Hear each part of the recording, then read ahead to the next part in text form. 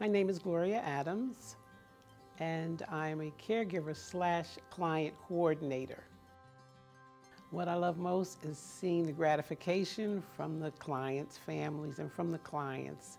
Just seeing the difference that you make in their lives with just little everyday things that we take for granted, that they no longer are able to do or even can remember to do. But that's the gratification. When you leave, you just see that you made a difference. People think that when you say you're a caregiver, that all you do is go in and clean them up and feed them and it's far from it.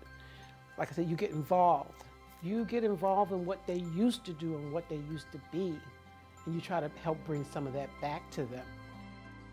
The lesson is live it fully each day, really be family oriented, and just enjoy what you do.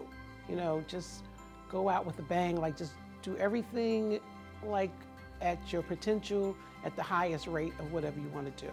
I see a lot of people that have a lot of kind of I should have, would have, and they they're so much older now and they say like just do it. Knowing that I make a difference, knowing that hopefully I'll get there one day and someone will have the compassion that I have and that'll care for me or a family member.